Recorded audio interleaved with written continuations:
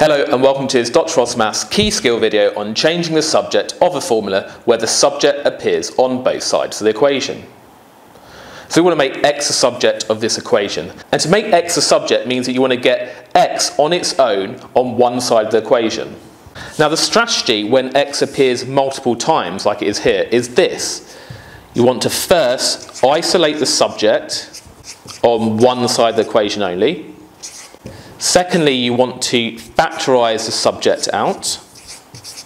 And this will become clear once we actually do this example. And then finally, you divide appropriately. So that's the only strategy we need to use for this question. Now, firstly, we want to isolate the subject on one side of the equation. Now, the subject terms here involve the x. So we've got the ax here and the bx. Now, we want to get all the x terms on one side of the equation. So you can decide to put all the x terms on the left-hand side of the equation or the right-hand side of the equation. It doesn't actually matter. Now I'm going to choose to put it on the right-hand side of the equation only because then if I move the other stuff to the left, can you see you've got a minus c here? And if you add c to both sides, it's then going to be positive. So let's choose to get all the x terms on the right-hand side of the equation. But it'll still work if you put all the x terms on the left. So if I want to get all the x terms on the right-hand side of the equation, I don't want that x term on the left. So to get rid of that plus ax, I'm going to minus ax from both sides of the equation. So if I do that, that gets rid of this plus ax, just leaving free.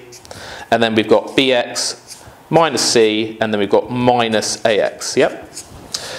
Now, we've got all the x terms on one side of the equation, but this is not an x term. So anything that's not an x term should go on the other side of the equation. So we're just going to add c to both sides to get rid of that minus c. And if you do that, we get 3 plus c equals bx minus ax. Now, on the right-hand side of the equation, we've only got x terms now, nothing else. And so we've done part one of the method. What about part two? Factorise the subject out. So we just need to factorise the x out of this. So we just leave the left-hand side as it is. If we factorise x out, we have a single bracket here. x times what is bx? Well, it's b. x times what is minus ax? It's minus a. So now we've done part two of the method. And finally, we just need to divide appropriately. Can you see that x has been multiplied by b minus a? So to get rid of the times by b minus a, we just need to divide both sides by b minus a. So let's do that. So if we divide the 3 plus c by b minus a, we get 3 plus c over b minus a. And we don't need the brackets around it, by the way, because there's nothing else around that denominator.